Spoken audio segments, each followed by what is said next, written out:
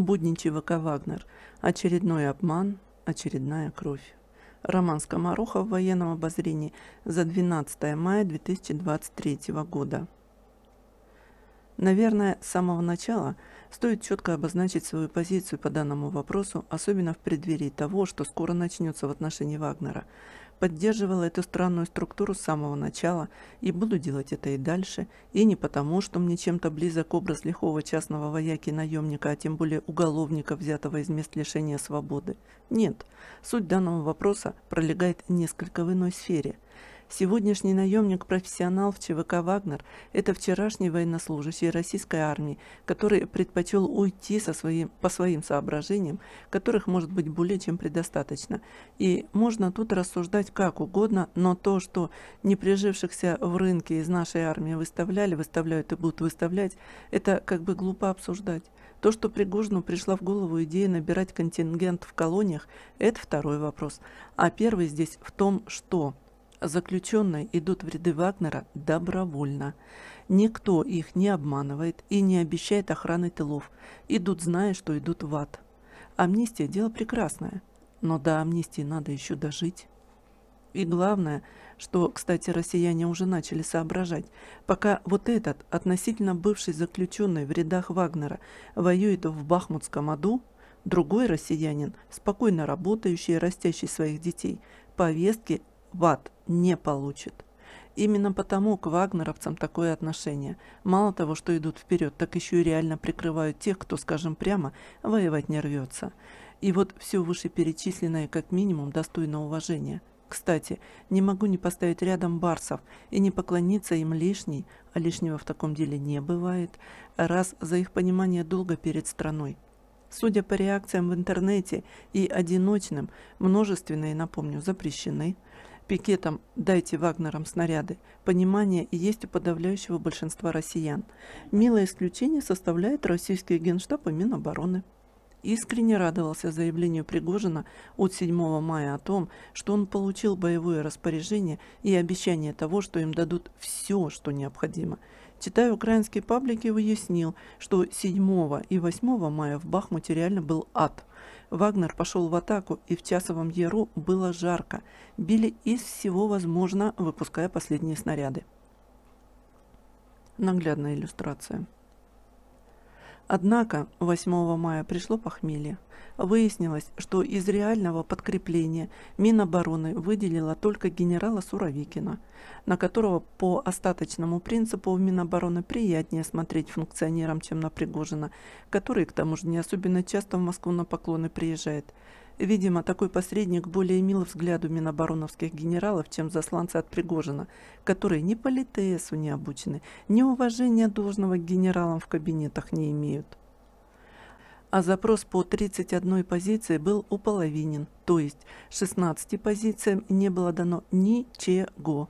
По оставшимся 15 позициям, по словам Пригожина, а его словам стоит верить, цифры выделяемого БК уменьшены в 10 раз. Пригожина опять порвало в клочья, и он слова особо не подбирал. Верховный главнокомандующий, вам, цензура, порвет либо русский народ, который очень будет расстроен, если война будет проиграна.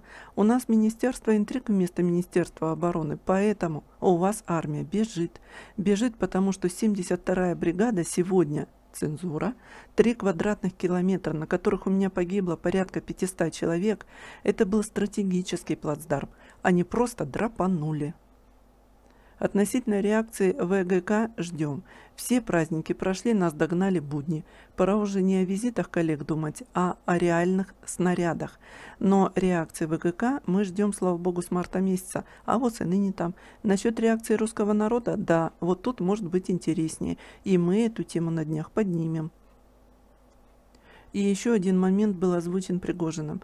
То, что вместо обещанных снарядов в боевом распоряжении его уведомили, что отвод войск будет считаться дезертирством. Дезертирство, бегство, предательство и прочее. Вот этот момент хотелось бы обсудить отдельно.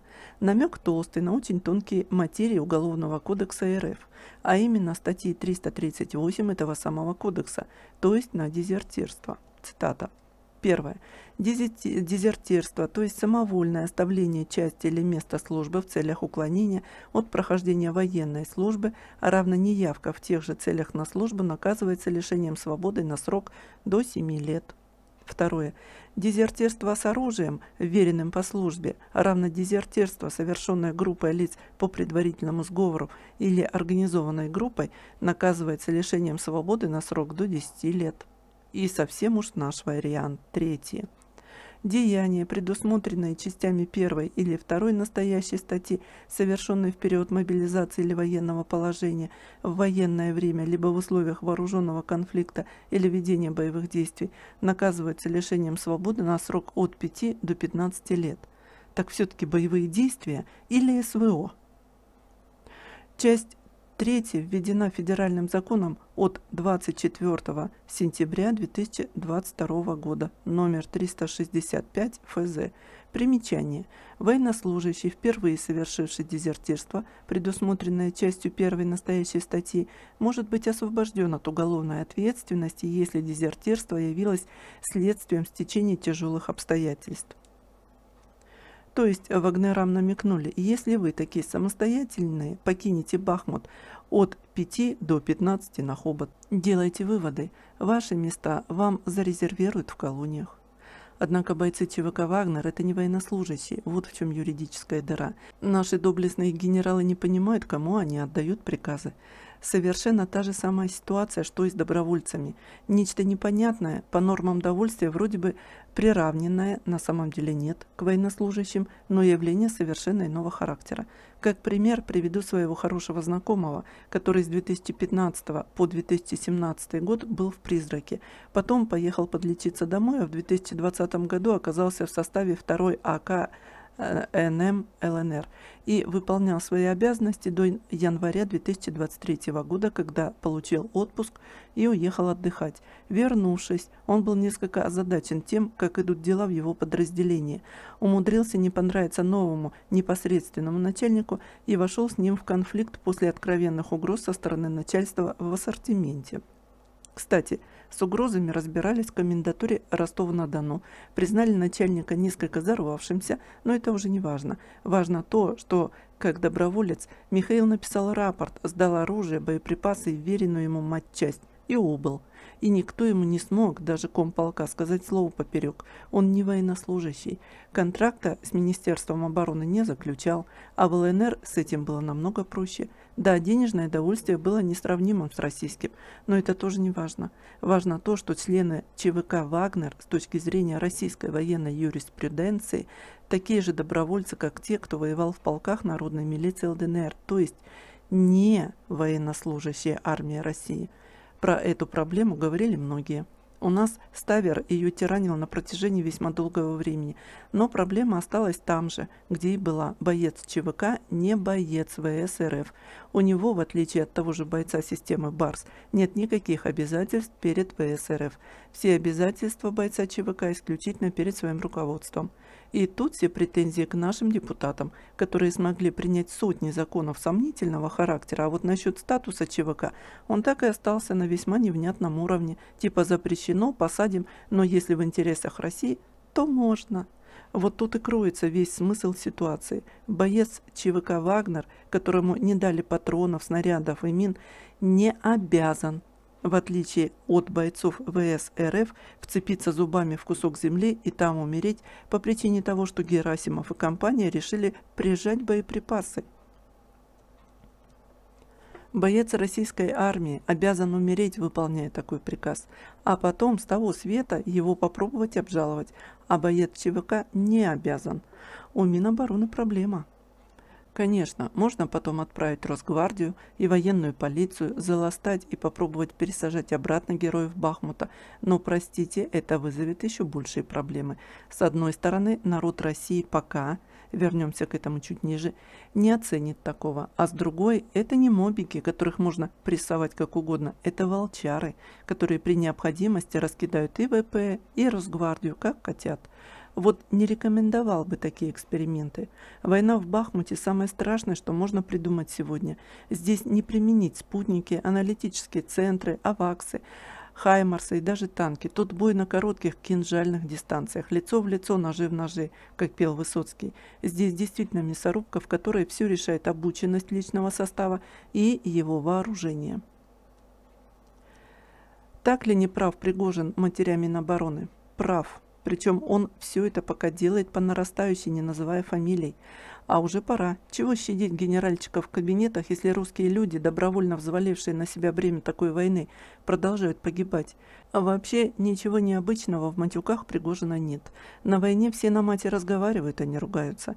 Это факт, от которого не, не отвертеться. Это норма. Равно как и норма является относительный бардак в армии, в нашей особенно.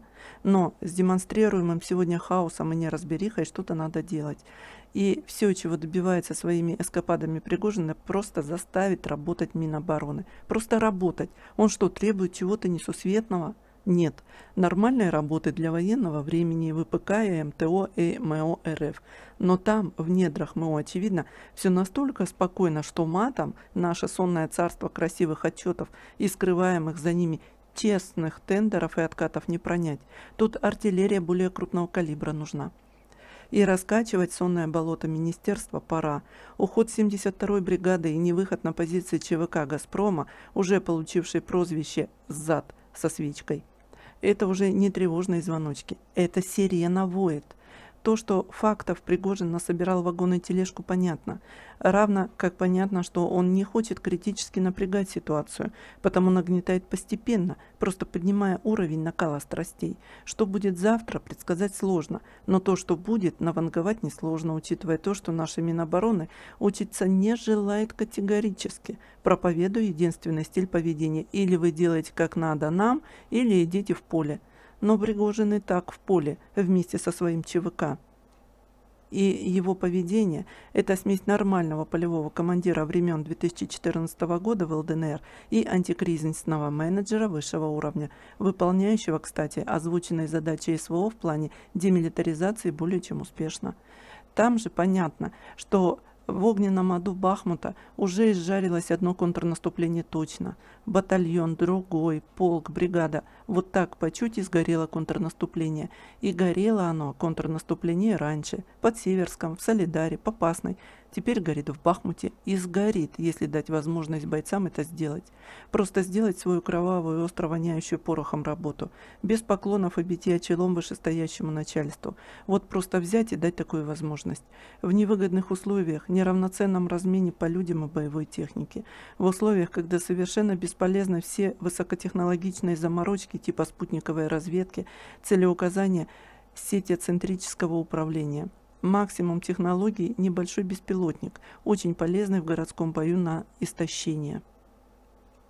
Кстати, наши партнеры из НАТО как-то вот не очень умеют в такой бой, потому многого и не насоветуют ведомым украинцам. Они решали проблемы городских боев исключительно ковровыми бомбардировками и толпами крылатых ракет, просто стирая города с лица земли. Можно много говорить о том, насколько вышел военачальник из рядового Пригожина, но вышел вот и ничего с этим не поделать. Генералы должны завидовать, поскольку их-то в армии в основном презирают и боятся. Чего уж там, кто служил, тот служил, тот знает. Конечно, есть в нашей армии полковники и генералы, которые слуга царю, отец солдатам, но их появление в высшем управлении выглядит фантастикой. Пригожин из этой оперы, слуга стране и солдатам своим вполне себе отец, потому и уважает, потому за ним и идут, и российская общественность относится соответственно поймет и простит все, в том числе и то, что Пригожин откровенно выносит ссоры из СБ, нещадно критикуя Минобороны и Генштаб. И уже зазвучали тревожные сигналы со стороны российской так называемой Z-сетки, то есть определенные блогеры, воюющие на информационном фронте, уже начали высказывания в отношении Пригожина в духе того, что всем снарядов не хватает, но орет только Пригожин и так далее. Здесь все понятно и с господами ангажированными борцунами, и с теми офицерами, кто не хочет уподобляться Пригожину. Так оно поставлено в нашей армии, что в действительности крик поднимать может себе позволить только Евгений Пригожин. Остальные молчали и будут молчать, особенно когда есть что терять, то молчание – залог карьеры. А у Вагнера самые тяжелые потери. Это не может не бесить ни Пригожина, ни его командиров из Совета, да и командиров вообще – Им, собственно, не генеральский снобизм и задранные носы, мягко говоря, облокотиться. Любой вагнеровец скажет, давайте к нам, посмотрим, что там у вас в душе звенит, какая мелочишка. И будет прав. Вот уверен, что Пригожину для съемок не оборудовали позицию орудия, и что был он на своей же батарее, которая и сегодня находится там же, где и была 7 мая. Есть такое подозрение. И это разительно отличается от инспекционных поездок на фронт в 130 километрах от линии такового, чтобы Хаймарсом точно не достали ВСУ. Сомнительно, что бойцы и командиры Вагнера в восторге от того, что творит Минобороны. Так что Евгений Викторович все правильно делает, пока отводя негатив своих бойцов на бюрократов Минобороны, но бесконечно это происходить не будет. Ведь там в окопах не дураки сидят и понимают, что за изюмское бегство никого не наказали, и за оставленный Херсон тоже. Но вот если вагнеровские уйдут, как обещал Пригожин, то тут можно быть уверенными, переловят и постараются пересажать всех. И такой вариант развития событий тоже возможен. В нашей стране запросто. И пока такой э, вариант есть, Пригожину, к сожалению, ничего не остается, как лить напалм в адрес тех, кто творит, выражаясь уголовным языком, беспредел в плане поставок боеприпасов. И нам ничего не остается, как реагировать, пусть и не всегда так, как от нас этого ждут. Да, поддерживая Пригожина и его бойцов, мы поддерживаем настоящую, а не бумажную демилитаризацию Украины настоящую, а не то, что в рапортах Коношенкова. Там уже на пятый круг пошло уничтожение всего, что по-прежнему воюет у ВСУ. Но понятно, что только ВГК может хоть как-то встряхнуть Минобороны и навести там хотя бы подобие порядка. Что ж, будем работать дальше. Роман Скоморохов. Будничий ВК Вагнер. Очередной обман, очередная кровь.